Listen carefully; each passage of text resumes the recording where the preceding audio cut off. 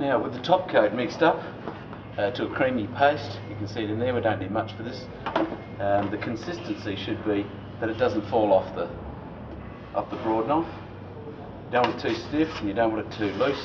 Um, if it's too uh, runny, then it doesn't uh, blend evenly and it doesn't uh, cover up any imper imperfections.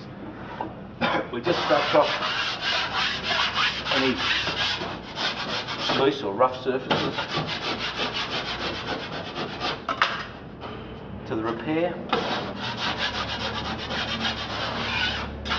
All around the edge so it blends nicely. Take a small amount put on a flat towel or hawk depends on which one you like to use. I like to put it into a nice little ball into the centre so it doesn't run everywhere. And just apply it. You can apply it with a trowel.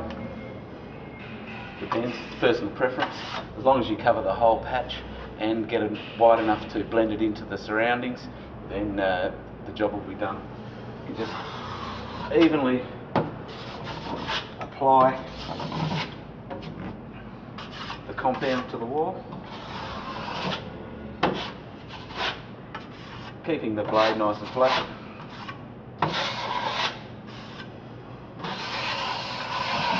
and ensuring that you feather around the edges.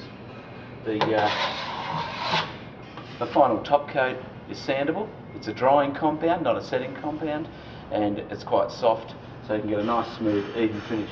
You can see how quick it is, any imperfections, um, and just be sanded out afterwards. Um, not that there's much in here to sand out.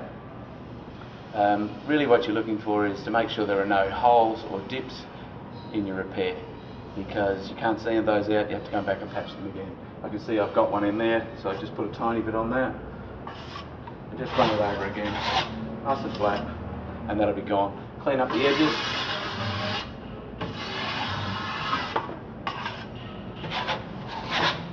And it's ready for sanding.